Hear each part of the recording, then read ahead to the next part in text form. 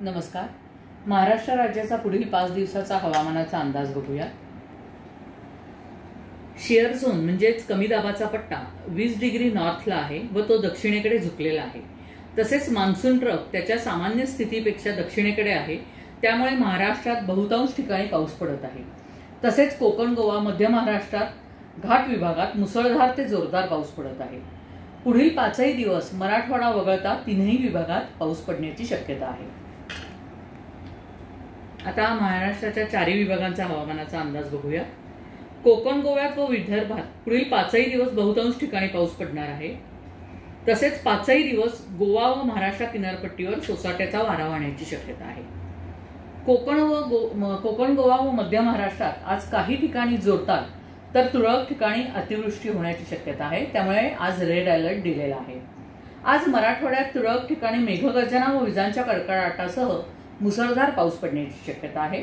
तर विदर्भात आज आणि उद्या मेघगर्जना व विजांच्या कडकडाटासह जोरदार पाऊस पडण्याची शक्यता आहे. कोकण गोवा व मध्य महाराष्ट्रात एकवीस बावीस तेवीस जुलैला तुरळक ठिकाणी जोरदार पाऊस पडण्याची शक्यता आहे. तर विदर्भात तुरळक ठिकाणी मेघगर्जना व विजांच्या कडकडाटासह मुसळधार पाऊस पडण्याची शक्यता आहे.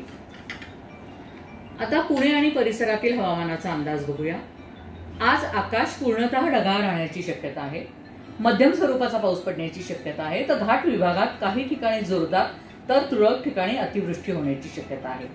उद्या आकाश पूर्णतः ढगाळ राहण्याची शक्यता आहे.